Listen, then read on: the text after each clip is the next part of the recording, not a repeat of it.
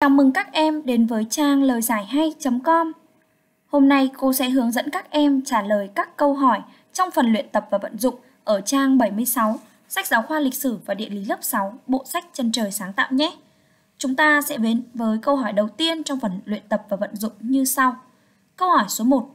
Hoàn thành bảng thống kê các nội dung ảnh dưới đây về nhà nước Văn Lang và nhà nước Âu Lạc. Cụ thể, bên dưới chúng ta có một bảng so sánh các thông tin liên quan đến nhà nước Văn Lang và nhà nước Âu Lạc, bao gồm thời gian ra đời, người đứng đầu nhà nước và kinh đô. Các em đã nghĩ ra đáp án cho câu hỏi này chưa? Cô gợi ý chúng ta phương pháp giải nhé. Các em hãy xem lại nội dung của toàn bộ bài học, từ đó lựa chọn những thông tin thích hợp và điền vào bảng so sánh. Thông qua nội dung bài học từ trang 73 đến trang 76 trong sách giáo khoa, chúng ta có thể so sánh các thông tin liên quan đến hai nhà nước Văn Lang và Âu Lạc như sau. Về thời gian ra đời, nhà nước Văn Lang ra đời vào thế kỷ thứ 7 trước công nguyên. Còn nhà nước Âu Lạc chính là quốc gia kế tục của nhà nước Văn Lang, ra đời vào thế kỷ thứ hai trước công nguyên. Người đứng đầu nhà nước Văn Lang chính là Hùng Vương, còn người đứng đầu nhà nước Âu Lạc là An Dương Vương. Về kinh đô của nhà nước Văn Lang thì nằm ở Phong Châu, còn kinh đô của nhà nước Âu Lạc đóng ở Phong Khê. Tiếp tục, chúng ta sẽ đến với câu hỏi thứ hai trong phần luyện tập và vận dụng như sau. Câu 2. Em hãy cho biết các mốc thời gian sau gắn với những sự kiện lịch sử quan trọng nào của thời kỳ Văn Lang Âu Lạc. Theo đó, chúng ta có một sơ đồ thời gian bao gồm 5 mốc thời gian quan trọng đối với các thời kỳ phát triển của quốc gia Văn Lang và Âu Lạc. Các em đã nghĩ ra đáp án cho câu hỏi này chưa? Cô gợi ý chúng ta phương pháp giải nhé. Các em hãy chọn lọc những sự kiện tiêu biểu tương ứng với các thông tin đã cho trong đề bài. Thông qua việc chọn lọc các sự kiện tiêu biểu thì chúng ta có thể nhận định được rằng mốc thời gian đầu tiên vào thế kỷ thứ bảy trước công nguyên, nhà nước Văn Lang ra đời, có kinh đô đóng ở Phong Châu. Mốc thời gian thứ hai, năm 214 trước công nguyên, quân Tần bắt đầu đánh xuống vùng đất của các bộ tộc Việt. Mốc thời gian thứ ba, năm 208 trước công nguyên, quân Tần rút về nước. Mốc thời gian thứ tư, năm 179 trước công nguyên, Âu Lạc bị sáp nhập vào Nam Việt. Mốc thời gian thứ năm, năm 1 công nguyên là thời kỳ Bắc thuộc mở ra thời đại các triều đại phong kiến Trung Quốc thay nhau cai trị nước ta trong suốt hơn 1.000 năm.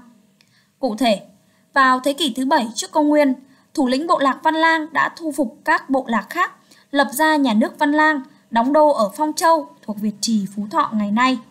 Đến năm 214 trước công nguyên, quân Tần ở phương Bắc đánh xuống vùng đất sinh sống của các bộ tộc Việt.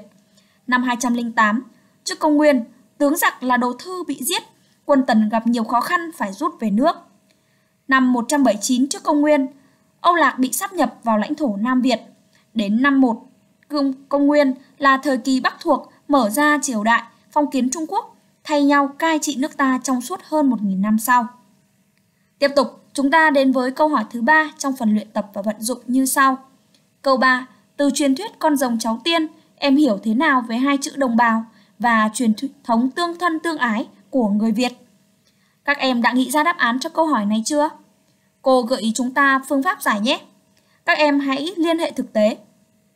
Thông qua việc liên hệ thực tế kết hợp với nội dung trong truyền thuyết con rồng cháu tiên, chúng ta đã từng được nghe, từng được hiểu về nó, thì chúng ta có thể nhận định được rằng đồng bào tức là cùng sinh ra từ một bào thai. Ý nghĩa ở đây đó là tất cả chúng ta đều mang chung trong mình một dòng máu, đều có chung một cội nguồn và đều là những người anh em ruột thịt một nhà. Thứ hai, tương thân tương ái tức là mọi người hãy cùng yêu thương, đùm bọc, sống hòa thuận, tình cảm với nhau bằng một tình thương giữa con người với con người. Cụ thể, từ ờ, truyền thuyết con rồng cháu tiên có thể hiểu từ đồng bào tức là cùng sinh ra từ một bào thai, có ý nghĩa rằng tất cả chúng ta, những người con của đất Việt đều mang chung trong mình một dòng máu, đều có chung một cội nguồn của mình, đều là những người anh em ruột thịt một nhà. Tương thân tương ái nghĩa là mọi người cùng yêu thương, đùm bọc, sống hòa thuận, tình cảm với nhau, sống bằng tình thương giữa con người với con người. Dù trong bất cứ hoàn cảnh nào, chúng ta hãy cùng nhau cố gắng, giúp đỡ. Lá rách ít, đùm lá rách nhiều mà không cần mong đợi sự đền đáp.